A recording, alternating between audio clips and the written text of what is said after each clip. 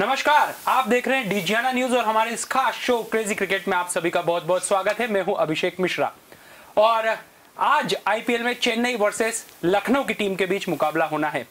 दोनों ही टीमें एक एक मैच खेल चुकी है और परास्त का सामना करना पड़ा है। तो ज़ाहिर सी बात है कि कोशिश करेंगी दोनों टीम की जीत का खाता आज खोला जाए। तो ज़बरदस्त ये मुकाबला होने वाला है। लखनऊ पहली बार चेन्नई के सामने होगी तो चेन्नई के सामने भी लखनऊ जैसी नई टीम चुनौती खड़ी कर सकती है। देखना खास होगा कि क्या कुछ हो सकता है लेकिन उससे पहले हमारे एक्सपर्ट से जानना चाहेंगे कि आखिर किसका पड़ला क्यों और किस लिए भारी दिखाई पड़ सकता है। हमारे साथ मौजूद हैं वरिष्ठ खेल पत्रकार और अपने समय के जानदार क्रिकेटर नरेंद्र भाले जी। सर आपका बहुत बहुत स्वागत है। और हमारे साथ मौजूद हैं क्रिकेट की नई पौध को पैदा करने वाले क्रिकेट के शानदार खिलाड़ी कपिल शेंडगे जी। सर आपका भी बहुत बहुत स्वागत है। Thank you Abhishek ji. भले सर आपसे शुरू करता हूँ मैं कल के मुकाबले को लेकर क्योंकि कल जिस अंदाज में आरसीबी ने मुकाबला जीता एक बहुत छोटा टोटल था। केकेआर ने कोई बहुत ज़्यादा लक्ष्य नहीं दिया था लेकिन उसके बावजूद ये टीम लड़खड़ाती हुई दिखाई दी। जीत ज़रूर ज़रूर दर्ज की है लेकिन कहीं ना कहीं परेशानी के साथ जीत दिखी है। केकेआर के साथ सबसे बड़ी जो दिक्कत है वो ये है कि वो जो खिलाड़ी उन्होंने रिटेन किए थे वो सारे खिलाड़ियों ने उनको लजवा दिया। केवल सुनील नरेन एक अफवाह छोड़ दिया जाए कि इतनी ओस के बावजूद भी उसने जो गेंदबाजी करी है, वो स्पिन गेंदबाजी का उत्कृष्ट नमूना था। मतलब इतना बॉल गीला होने के बावजूद भी उनके चार ओवर में मात्र ग्यारह रन गए हैं। तो ये उनके क्लास को दर्शाता है कि सुनील नरेन में क्या क्लास है। लेकिन जैसे दूसरी तरफ़ रसेल अर्नाल्ड है तो एक तो बल्कि भी बहुत है वो।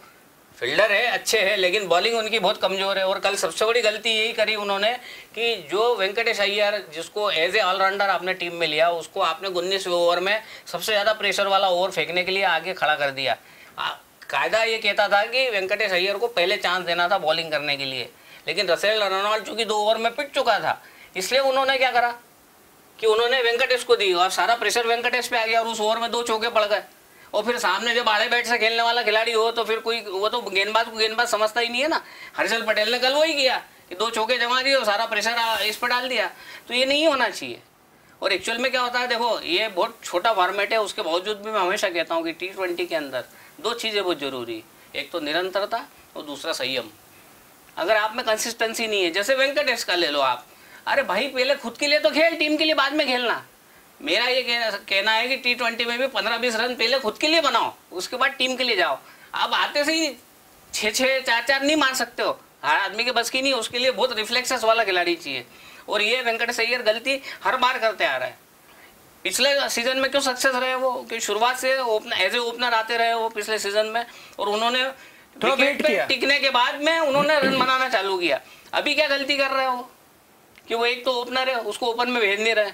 और फिर नीचे भेज देते प्रेशर उस पर आ जाता जहाँ दो दो डॉट गेंद गई तो वो प्रेशर सारा उसके ऊपर आ जाता है। तो वो पहले युवा खिलाड़ी है ऐसा कोई अंतर्राष्ट्रीय बहुत अनुभव नहीं है उस आदमी को। अब उस बंदे को आप अगर ये हरकतें करोगे उसके साथ में तो परफॉर्मेंस आएगा ही नहीं उसका कि, किसी भी सूरत में नहीं आएगा। जैसे रसेल पिटे ना तबीयत से पिटे वो। आखिरी में भाई आखिरी ओवर भी क्रिशुअल था ऐसा नहीं था कि आराम से बना लेते। लेकिन वो दिनेश कार्तिक पहली गेंद जिस जिस आदमी को करोड़ों सबसे पहले के के आर ने दिखा है साढ़े चौदह करोड़ दिनेश कार्तिक को। वो दिनेश कार्तिक ने ही इनके काम लगाए कल। तो पोटेंशियल उस खिलाड़ी में भी बहुत है। एक तो उसकी हाइट कम है तो शॉर्ट गेंदें खेलने में उसको बहुत सहूलियत रहती है। आराम से पुल शॉट बहुत। इस मामले में कोई दो मत नहीं कि आज की तारीख में बेस्ट पुल शॉट लगाता सीनियर इतना बुज़ुर्ग खिलाड़ी होने के बाद भी। तो कहीं ना कहीं ये प्लस माइनस तो चलेगा। लेकिन जहाँ तक आप में अगर संयम नहीं है, जैसे मैं एग्ज़ाम्पल दूँ कि शुभमन गिल। शुभमन गिल ने एक अद्भुत अद्भुत कैच पकड़ा और उसको जब बैटिंग पे आया तीसरी गेंद खड़ी कर दी। अरे भैया, आप पहला देखो तो सही कि विकेट पे गेंद टप्पा खाने के बाद धीरे फंस के आ रही है, तेज आ रही है स्विंग हो रहा कुछ देखने को तैयार, कोई भी नया युवा खिलाड़ी देखने को तैयार ही नहीं है। बस जाते से बोले, मारो। अरे मारो क्या? पहले खुद के लिए खेलना भैया। देखो, इसमें भी सक्सेस टेस्ट मैच जैसा ही है टी ट्वेंटी में भी, कि जब तक आप सिंगल डबल नहीं बनाओगे स्ट्राइक रोटेट नहीं करोगे, तब तक गेंदबाज डिस्टर्ब नहीं होगा। इस मामले में अजहरुद्दीन को मानता हूँ मैं। बेस्ट एग्ज़ाम्पल थे टेस्ट मैच में भी वो पहली गेंद से ही सिंगल से चालू हो जाता था। तो आपकी अप्रोच ये होनी चाहिए। आप में रनों की भूख होनी चाहिए। और ये युवा खिलाड़ियों में दिख ही नहीं रहा है, क्योंकि एक तो क्या है कि जैसे तेवतिया है, या आवेश खान है, या वेंकटेश है, अब आठ आठ करोड़, नौ नौ करोड़ में ये बिकेंगे। तो इन्होंने अभी किया क्या है? ऐसा देखा जाए तो ऐसा क्या परफॉर्मेंस है इनका? लेकिन दिया तिब्बती ने तो बुना लिया। लेकिन ये नहीं बुना पाया। आवेश खान भी अब देखो मेन चीज़ क्या है कि मुंबई के जो विकेट है उस पर जो फास्ट गेंद निकलती है तो हर फास्ट गेंद पे मैक्सिमम को विकेट मिले हैं। लेकिन जहाँ आपने एक्सपेरिमेंट के तौर पे स्लो गेंद फेंकी उस पर चौका छक्का खाया है। और ये गलती सुधारना चाहते ही नहीं आवेश खान भी वही गलती कर रहा है। कि पहली बात तो ये है कि आपको धीमी गेंद डालनी क्यों है? हम्म। आप आपकी जो नेचुरल बॉलिंग है वो करो जो strength है उस पर जो स्ट्रेंथ पे काम करो आप क्यों अननेसेसरली एक्सपेरिमेंट करो और धीमे डालने में क्या होता है कई बार फुलटा चली जाती है यार्कर के चक्कर में। उस पर छः पड़ जाता है या चार पड़ जाता है। तो ये गलती नहीं होना चाहिए। इसलिए मैंने जो बोला कि एक तो निरंतरता होनी चाहिए दूसरा संयम होना चाहिए। संयम सबसे बड़ी चीज़ है। कितना सहमत है सर आप? क्या कहेंगे? जी बिल्कुल। हमारे वरिष्ठ क्रिकेटर रहे हैं भाले सर और जिस तरीके से इन्होंने बहुत सारी चीज़ों को आपके सामने रखा है मैं समझता हूँ कि वो सारी चीज़ें होनी चाहिए एक एज ए क्रिकेटर अगर आप इतने बड़े प्लेटफॉर्म पे वहाँ खेल रहे हैं आप। और पहली दूसरी बॉल पे इस तरह से आउट होके जा रहे हैं। सबसे बड़ी बात यह है कि क्रिकेट इंडिया में धर्म की तरह माना जाता है। लोग बहुत सारे लोग आपको देख रहे हैं वहाँ पर। जो यंगस्टर हैं वो आपको फॉलो करने की कोशिश कर रहे हैं। बट अगर आप इस तरह के शॉट्स खेलोगे तो अ, उनका क्या माइंड सेट होगा वो क्या सोचेंगे आपके विषय में? एक तो वो महत्वपूर्ण बात है। दूसरा ये है कि जब आप विकेट पे जाते हैं तो विकेट का नेचर आपको मालूम होना चाहिए। अब आप जब आप डगआउट में बैठे हैं डगआउट में बैठ के आप, आपको मैच को वॉच कर रहे हैं आप तो आप ये भी देखो कि विकेट का नेचर का है? कहाँ से बॉल कितना स्विंग हो रहा है? कहाँ पर क्या? वो बहुत सारी चीज़ें डिपेंड करती है जो आने वाला बैट्समैन है। लेकिन अगर वो आके इस तरह के शॉट्स खेल के आउट होता है तो मैं समझता हूँ जो प्रेजेंट में इतनी सारी जैसा कि इन्होंने बताया कि आठ करोड़ रुपए दस करोड़ रुपए में टीमें खरीद रही हैं इन्हें प्लेयर्स को। तो इनको वहाँ पर वो दिखाना चाहिए अपने आप को कि कि हाँ यार मैं लायक हूँ। हूँ। यस मैं वैल्यू रखता हूँ। और आप इस तरह के शॉट्स खेल के आउट होंगे तो निश्चित रूप से मैं भाले सर के साथ बिल्कुल सहमत हूँ कि हमारे साथ साथ जो युवा क्रिकेटर हैं वो भी आपको देख रहे हो आपको फॉलो करना चाहते हैं उनको भी अच्छा नहीं लगेगा। ये बहुत ज़रूरी है कि आप विकेट पे खड़े रह के रन बनाए। और जैसा कि सर ने कहा कि सिंगल्स मैं समझता हूँ कि पहला रन जो सिंगल्स होता है वो आपको कॉन्फिडेंस दिलाता है। जब आप आपने सिंगल बनाया ना तो जब आप सिंगल लेके नॉन स्ट्राइक एंड पे खड़े होते हैं तो आपको लगता है यार मैंने एक रन बना चुका हूँ मैं।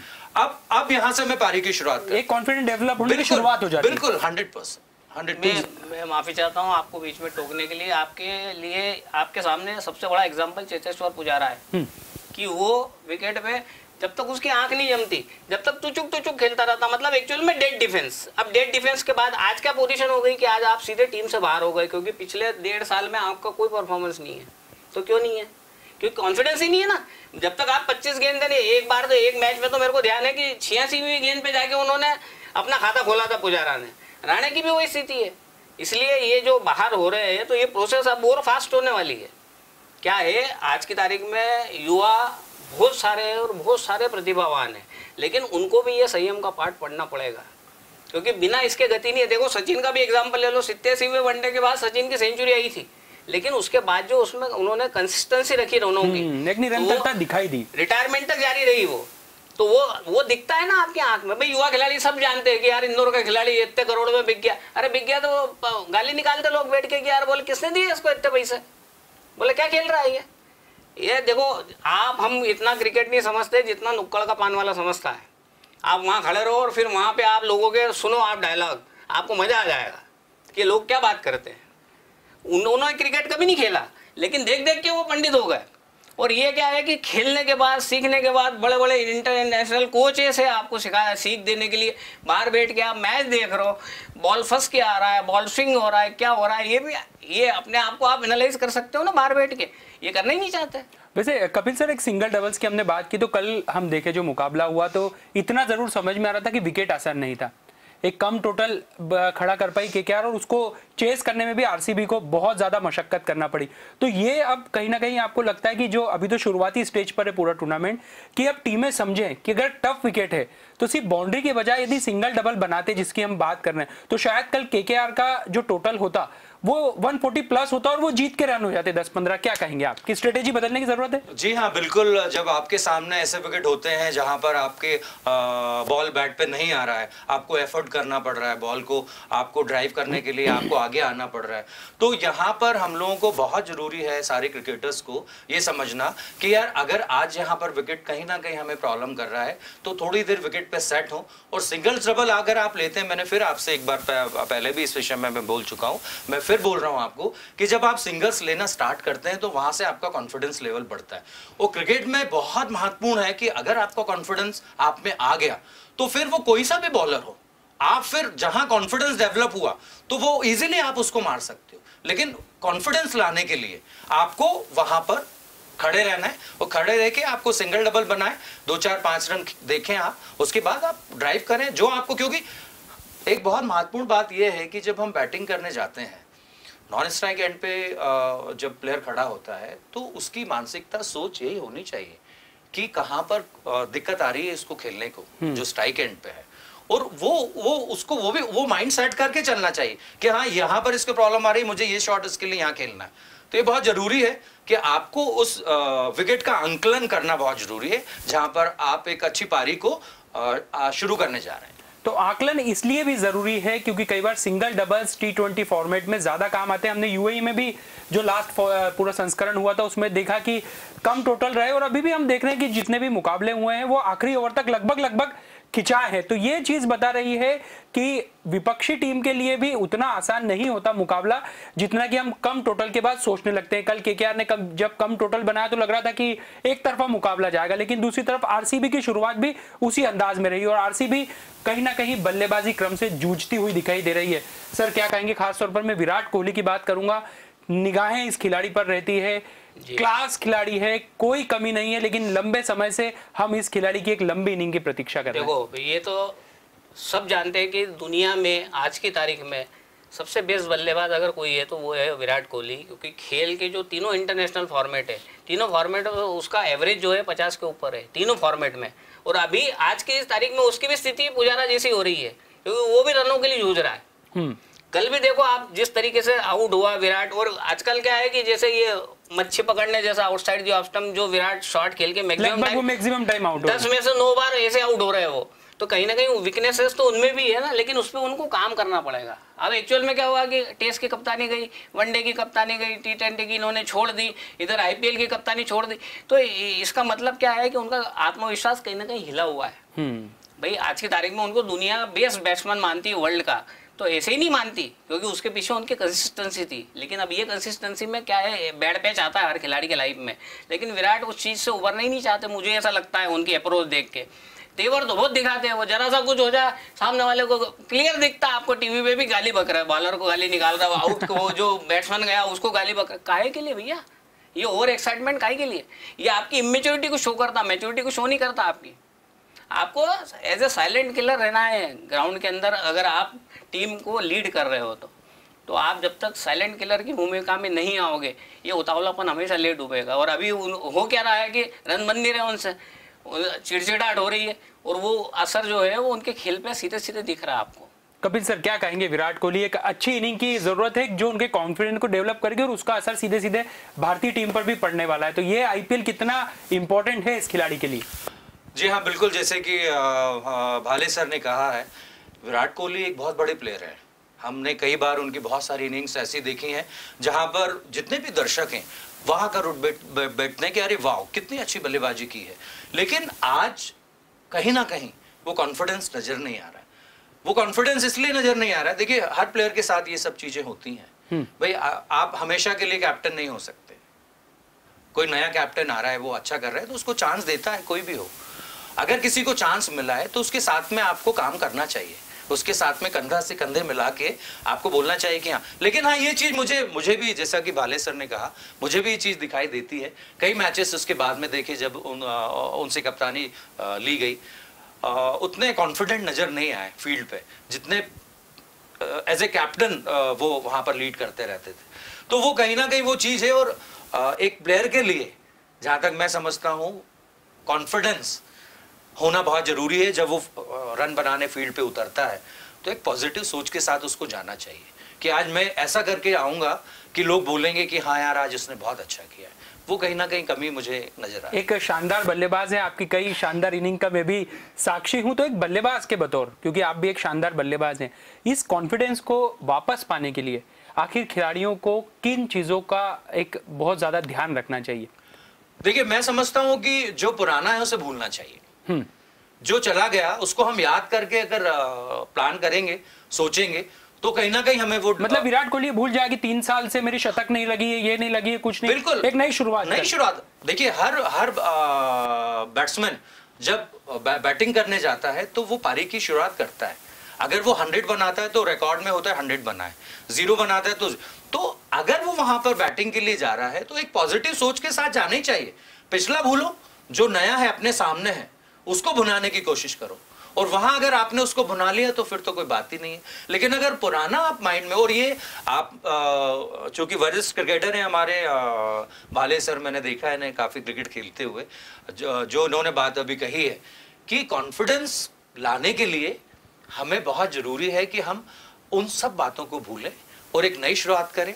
और नए सिरे से हम हमारी पारी को बढ़ाएँ और अभी विराट कोहली में बहुत सारा क्रिकेट क्रिकेट बाकी है। बहुत बाकी है और हम निश्चित रूप से अभी कुछ ऐसा मुझे लग रहा है अभी इस चीज़ का एहसास हो रहा है कि हाँ कुछ चीज़ें वो अब भूल रहे हैं। पहले ज़रूर कहीं ना कहीं लगता था बट अब वो चीज़ें आने लगी उम्मीद की जा सकती कोहली की विराट पारी जल्द दिखाई जल्दी ही दिखाई देनी चाहिए बिल्कुल बिल्कुल। और अब बात कर लेते हैं चेन्नई वर्सेस लखनऊ। खास मुकाबला है सभी की निगाहें रहेगी बड़े बड़े खिलाड़ी हैं दोनों ही टीमों में। तो अब कौन आज जीत के साथ अपना खाता खोलता है चेन्नई या लखनऊ? सर क्या कहेंगे? सर जहाँ तक ये दोनों टीमों का सवाल है तो अपना ओपनिंग मैच दोनों ही हार दोनों हार चुकी है। उसके बाद सामने है। और दोनों टॉस भी हारी थी और अभी जो हम लोग ट्रेंड देख रहे हैं कि टॉस जीतने के बाद पहले गेंदबाजी का फैसला करती है टीम और वहाँ एक मनोवैज्ञानिक बड़ा थे रिकॉर्ड बता रहे हैं। सिर्फ़ वो एक साइकोलॉजिकल ब्लॉकेज है मेंटल ब्लॉकेज है हर खिलाड़ी के दिमाग में कि रात कुछ भी हो जाए रात को ओस गिरेगी।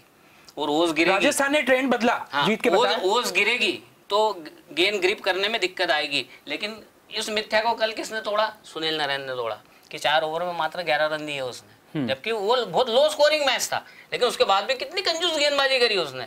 तो वो वो फोकस था उसको मालूम है मेरे को कहाँ फेंकना है गेंद गेंद किसी भी हो कौन सा भी बैट्समैन सामने हो किसी को नहीं मारने दिया उसने।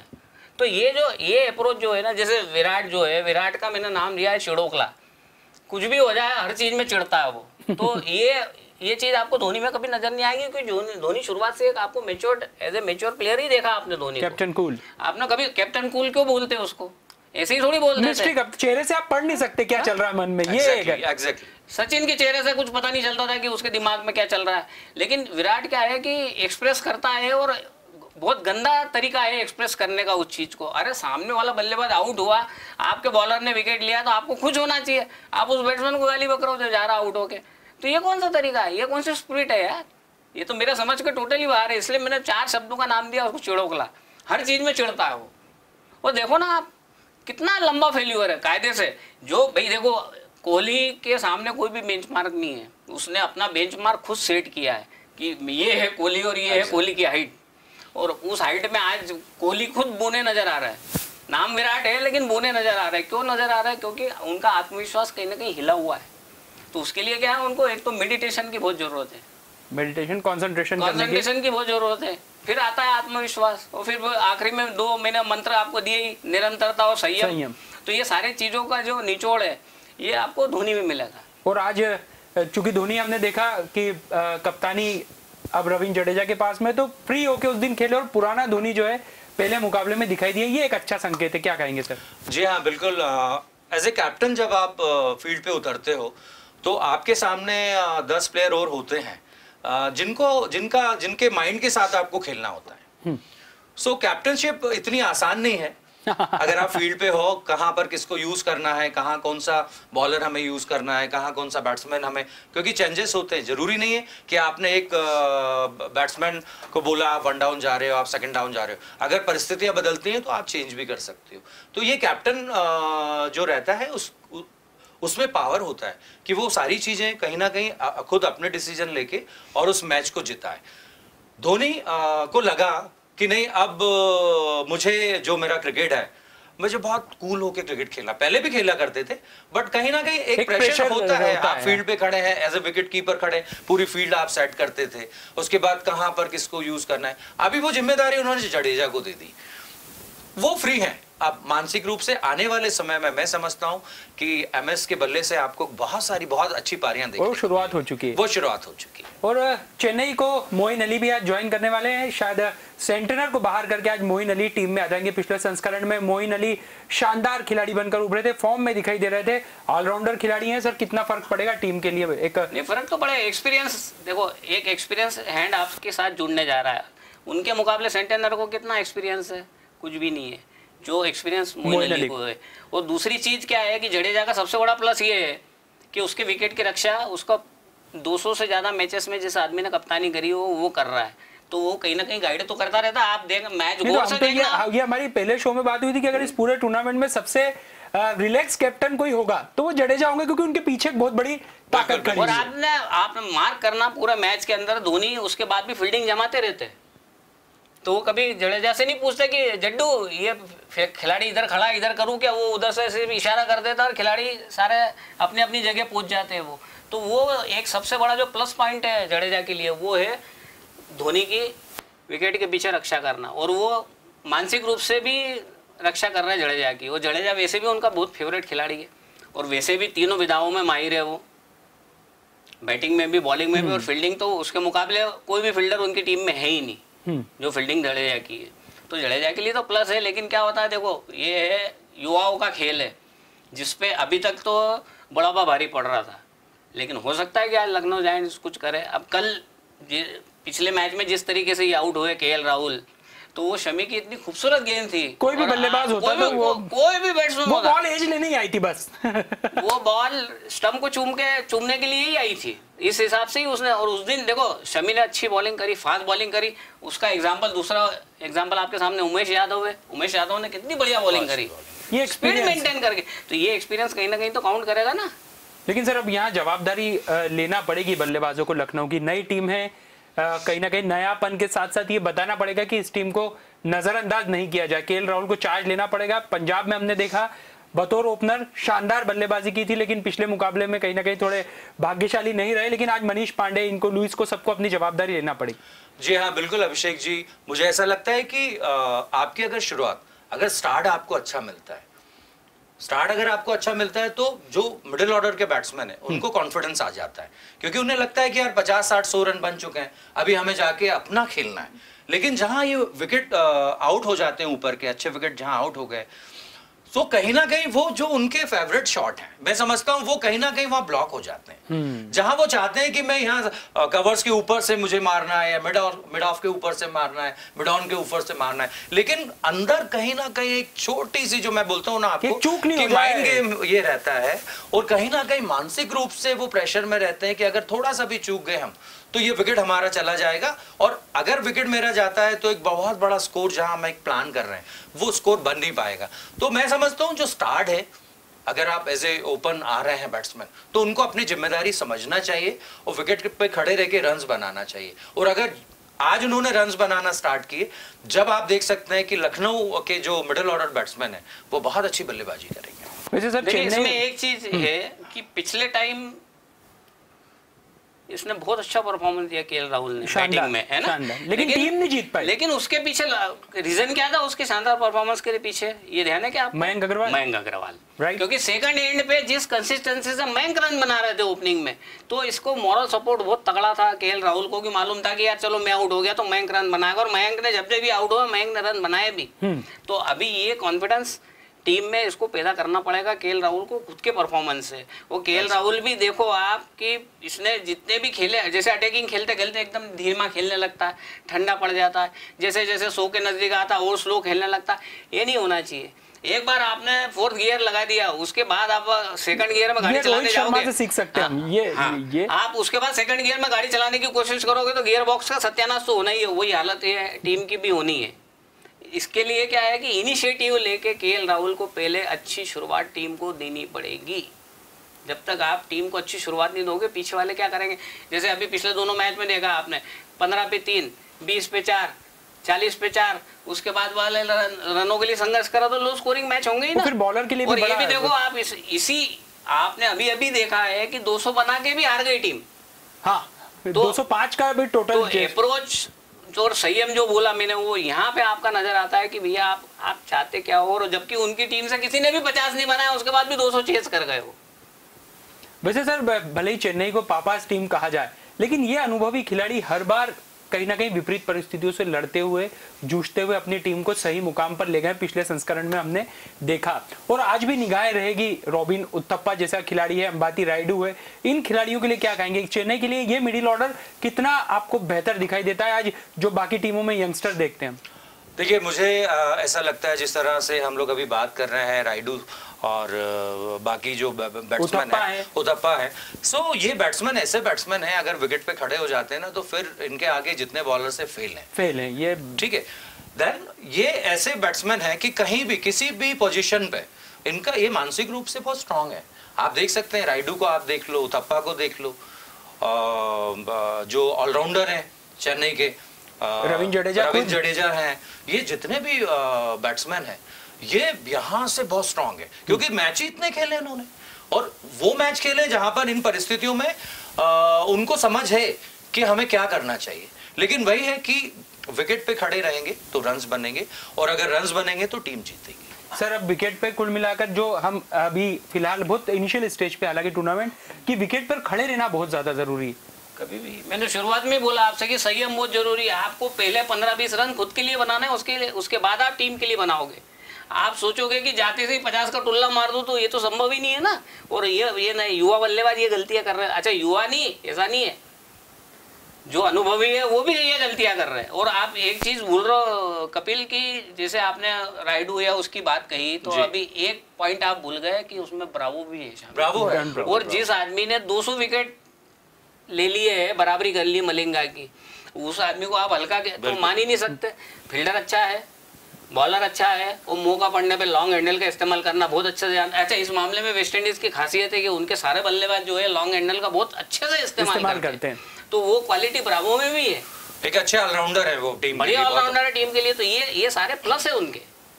और जैसे आप देखो पिछले टूर्नामेंट में ऋतुराज गायकवाड़ ने सबसे ज़्यादा रन बनाए थे ऑरेंज कैपधारी थे वो। क्यों भैया? अभी क्या करा उसने पहले मैच में? बाहर मा- चलाया बल्ला स्लिप में कैच दे के आ गया वापस। शुरुआत में इनिशियल स्टेज में। उस पिछले सीज़न में उसने ये गलती नहीं करी थी। तो कंसिस्टेंसी से रन बना रहा था वो। तो ये जो छेड़खानी करने की जो आदत है ना ये छोड़नी पड़ेगी इसीलिए बोला मैंने आपको कि पेशेंस रखना पड़ेगा विकेट पे खड़े होने के बाद। चार गेंदे आपको देखनी पड़ेगी और ये मुंबई की विकेट है। हरकत तो होगी ही यहाँ। और एक दिन बहुत अच्छा खेलेगा विकेट और एक आध दिन सारे बल्लेबाजों को डुबो देगा ऐसा भी खेलेगा। तो ये रहस्यमय विकेट है। जैसे हाँ जी सर कुछ बोल रहे ना, थे? आप आप बताएँ मैं ये बता रहा कि पिछले संस्करण में हमने देखा कि यूएई के विकेट इतना बल्लेबाजी को मदद नहीं कर रहे थे तो सब विकेट पर रुक कर खेलते थे। लेकिन यहाँ हम देख रहे हैं कि कहीं ना कहीं शायद मान रहे कि इंडियन कंडीशन में हम लोग पूरा खुल के खेल सकते हैं और ये गलती थोड़ी भारी पड़ती दिखाई दे रही। हाँ बिल्कुल वो आपको दिखाई दे रहा है। देखिए विकेट जहाँ तक मुंबई के विकेट की बात की जाए वहाँ लाल मिट्टी के विकेट हैं। ज़्यादातर वहाँ लाल मिट्टी के विकेट होते हैं। और वहाँ पर आपको बहुत संयम से बल्लेबाजी करनी है। लेकिन होता क्या है जल्दबाजी जो बैट्समैन करता है, जैसा कि सर ने बताया, कि कहीं ना कहीं वो जल्दबाजी करते हैं कि, यार मैं और क्रिकेट में अगर आप खड़े रहते हो तो उसके बाद जब रन आना स्टार्ट होते हैं तो मैं समझता हूँ कि आप वहाँ सिर्फ़ खड़े रहिए। रन्स तो आते रहेंगे। लेकिन वो खड़े रहने वाला एक जो फील है, वो बहुत ज़रूरी है एक क्रिकेटर्स के लिए। भाई साहब, लड़ो, बचोगे तभी तो लड़ोगे ना। अगर आप शुरुआत में अपना विकेट फेंक के आ जाओगे तो लड़ोगे किससे? और तो- गेंदबाजों को भी आपको इतना टारगेट तो देना पड़ेगा कि अच्छा, वो वो उनका मोरल और हाई कर देते हो आप शुरुआत में दो तीन विकेट देके तो वो तो अगर एक। बॉलर के राहुल का विकेट ले लेता है या एम एस धोनी का विकेट ले लेता है तो उसका कॉन्फिडेंस लेवल बढ़ जाता है। फिर वो जो दूसरे बल्लेबाज आते हैं ना उनको उनको उसको लगता है मैंने एम एस का विकेट लिया है मैंने के राहुल का विकेट लिया है तो ये मेरे चढ़ाई हो जाती है हंड्रेड परसेंट। जहाँ आपने बॉलर्स को थोड़ा सा भी मौका दिया मौका दिया तो कि वो आप पे हावी हो जाएगा। ये एक बात बिल्कुल सही कही और हम लगातार अभी जो पिछले छह मुकाबले में उसमें हमने देखा। अब बात कर लेते हैं फेवरेट टीम का सर आज लखनऊ या चेन्नई। कौन सी टीम पसंद है और क्यों पसंद है? वे एक्सपीरियंस के आधार पे तो चेन्नई पसंद है मुझे। हाँ। कुछ ना कुछ एक्स्ट्रा ऑर्डिनरी लखनऊ को करना पड़ेगा क्योंकि देखो चेन्नई के पास खोने के लिए सब कुछ है इनके पास खोने के लिए कुछ भी नहीं है। फ्रेश टीम है तो हर आदमी को जी जान से खेलना पड़ेगा और अपनी रेपुटेशन बनानी पड़ेगी उनकी रेपुटेशन बन चुकी है। अच्छा उधर से भी टाइटल है उनको कि यार बुड्ढों की टीम है। हम्म। सारे तीस के ऊपर अधिकांश टाइटल भी जीत चुकी है मैंने क्या बोला? अधिकांश जो है वो तीस के ऊपर ही है। लेकिन एक्सपीरियंस जो मैं बोल रहा हूँ आपको कि एक्सपीरियंस कोई चीज़ होती है वही काम। हम आ रहा देखे है। अपने मुकाबले धोनी। ये उसी की खा रहा है सारी बैठ के। नहीं तो क्या वजह है? बताओ आप मुंबई इंडियंस को भी देख लो। शुरुआत हमेशा भी भंडी हुई उनकी। दस सीज़न में पहला हाँ। मुकाबला हारे। लेकिन शुरुआत भंडी रहती है। बाद में फिर तीन चार मैच हार जाते हो फिर कौन क्या खेल रहा कौन क्या खेल रहा कुछ पता नहीं चलता। और अभी तो बहुत सारे चेंजेस हुए हैं टीमों में। तो ये लेकिन ये मुंबई की इसकी जो चेन्नई वाली जो टीम है इसमें चेंजेस बहुत कम है। चेंजेस लगातार हमने देखा कि एक ही टीम खेलती है और ज़्यादा रिटेन भी नहीं ये धोनी की आदत है कि वो जो प्लेइंग इलेवन है उसको चेंज करने की कोशिश नहीं करता। गायकवाड़ शुरुआत में कितना फेल हुआ लेकिन धोनी कंटिन्यूशन उसको चांस देते रहे और आज ऑरेंज कैप धारी पिछले साल का वो बन के बैठ गया। उसी वजह से वो टीम इंडिया में भी आया। तो आपको कब ये कब पोजीशन आएगी जब आप कंसिस्टेंसी दिखाओगे? और मेरा आवेश खान से और वेंकटेश से यही कहना है कि भैया पहले खुद के लिए खेलो। टीम बाद में आती है। पहले आप खेलो तो सही यार। आप पाँच रन दस रन बनाओ पहले आड़ा मार दिया केस दे के आ गए फिर यूँ बल्ला फेंका यूँ बल्ला फेंका। अरे क्या है ये? गलती किसकी है? अंपायर की गलती है क्या जो उसने आउट दे दिया? तो आज टीम पसंद चेन्नई। मेरे हिसाब से तो चेन्नई। सर। जी हाँ बिल्कुल मैंने जर्सी भी चेन्नई की पहनी है तो सवाल ही नहीं उठता। मैं भी चेन्नई के साथ ही हूँ। क्योंकि चेन्नई की जो टीम है हम देख सकते हैं उसमें जो क्रिकेटर्स हैं अ, उनकी कई शानदार पारियाँ हमने देखी हैं चाहे वो जडेजा है ब्रावो है जैसा कि सर ने बताया। MS है, रायडू है है। है ऋतुराज गायकवाड़ युवा क्रिकेटर हैं। और आज मोइन अली भी और मोइन अली मोइन अली एक बहुत अच्छे ऑफ़ ब्रेक बॉलर हैं। जिस तरीके से वो बॉलिंग करते हैं लेफ्टी बैट्समैन है ये उनकी एक क्वालिटी डिसेप्टिव खिलाड़ी है. खिलाड़ी है वो। कहीं भी आप इन्हें यूज़ कर सकते हो। कई, कई बार देखा आपने कई- वन डाउन ओपन ओपन तक करा दिया उन्हें। लेकिन जब भी जाते हैं वो एक पॉजिटिव सोच जो बात शुरू से पॉजिटिव सोच के साथ जाते देखने को। कि आज मैं फ़ील्ड पे जा रहा हूँ कुछ बहुत अच्छा करूँगा जिससे मैं भी इंजॉय करूँ और दर्शक जो इस मैच को देख रहे हैं वो भी इंजॉय करें। मैं तो- मोइन की ये विशेषता है कि वो जब जाते हैं तो अपोनेंट को लगता है यार कोई खिलाड़ी आया है। प्लेयर आ रहा है। तो ये उसको ऐसे ही नहीं मिला है। ये उसने कमाया अपने परफॉर्मेंस से। तो इन युवाओं को भी ये चाहिए कि ये कमाए और हम तो चाहते हम दोनों ही मुँह के बल गिरे और लखनऊ जीते। लेकिन मैंने क्या बोला अनुभव अनुभव ही होता है।